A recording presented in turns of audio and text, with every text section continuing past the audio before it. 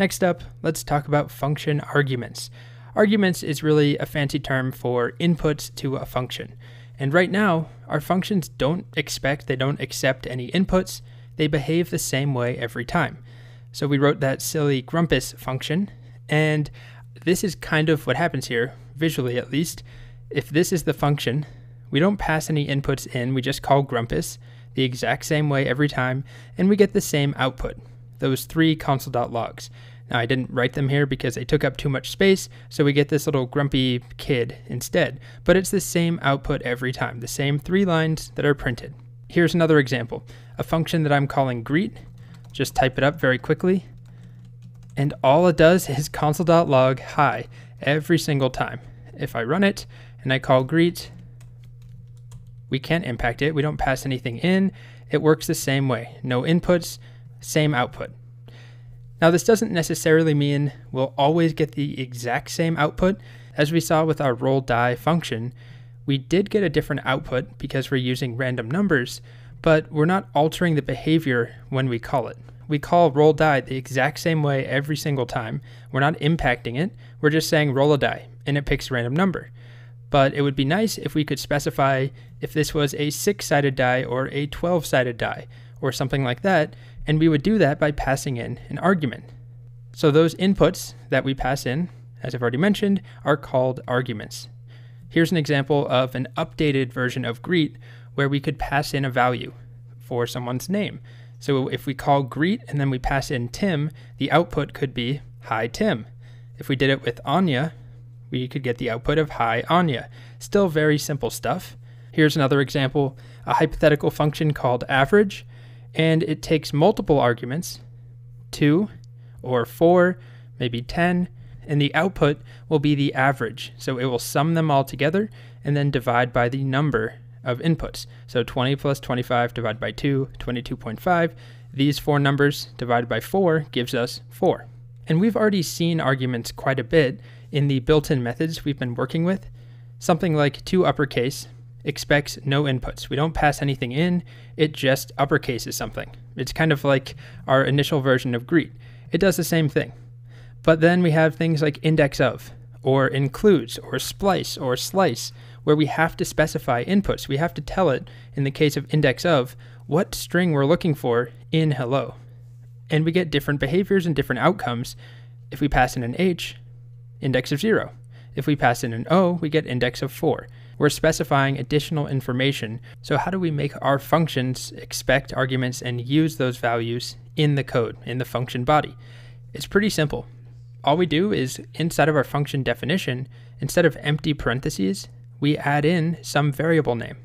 So this has to be a valid JavaScript identifier.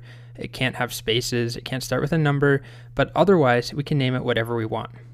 And just like with a for of loop, where we had for let x of some array, let's say the array 1, 2, 3, this x doesn't matter what we call it at all, but it will hold the value each time through this loop of one of these elements. We kind of do the same thing for a function. If we wanted to update our greet function to accept somebody's name, I would go maybe with nickname or person, and we put that in the parentheses. This does not do anything on its own, it will only work if we pass in a string or a number or some value when we call greet. But let's console.log nickname. Nickname will hold the value of whatever is passed in. JavaScript doesn't care what the type is, if it's a string or even an array. It just cares that it's the first thing that was passed in, and it will be assigned to nickname. That's just a, a sort of a placeholder name. You want to give it something that makes sense, a name that is logical. So nickname is fine. Let's see what happens now. I'm printing out nickname on the first line. Let's call greet and then pass in Tim. And there we go. You can see the first console.log says nickname, which is Tim. So nickname had the value of Tim because that's what I passed in. If I pass something else in, like a number, nickname has that value. It could be an array, how about an empty array? We console.log empty array.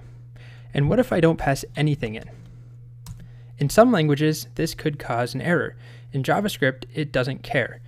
it says there's no value, it's undefined, but it doesn't break anything, it's just not there. Nickname just didn't have a value.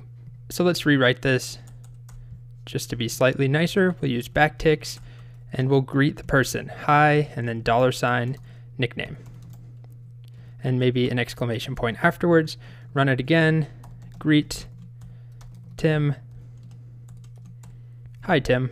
Okay, so we're console.logging something different based off of the input. The input has a direct impact on what the function actually does. Next up, let's try modifying roll die or throw dice. These two functions, let's pick one. I'll uncomment them both. Let's go with throw dice. So right now, throw dice always calls roll die six times. If I call it over here, throw dice, it rolls six dice. It calls roll die six times. But what if we could specify a number of times? How many times we actually want to roll? Maybe we're playing a game where you have two dice, but maybe we're playing another game like Yahtzee where you have five or six. I don't remember how many it actually uses, but it's more than two. We could pass in an argument and let's give it a name. We'll talk more about terminology here. Technically, the variables we write here are called parameters, not arguments. Let's go with times or num rolls. Maybe that's better num rolls. And then in here, we'll use this to repeat roll die. So how do we repeat something? We'll use a loop. So we'll loop for, we'll just do a for loop. Let's i equal zero, while i is less than num rolls. Add one to i each time, and we'll call roll die. So if we pass in five, we'll go from zero and then up to 5, but not including 5. Or we could go from 1 and then less than or equal to num rolls. I'll just go with 0 because we don't care about what i actually is. We just want a certain number of times. So let's see if it works. Throw dice. And I do need to pass in a number, like 3. We got 3 rolls. How about 5? We get 5 rolls. It combined two of them because they were identical. Thanks, Chrome console. Nine, we get nine rolls. Now we've written it so that we can impact the way it behaves based off of a single input. All right, so that's good enough for now. In the next video, we'll see how we can have multiple arguments, how the order matters, and we'll start writing some more complicated functions.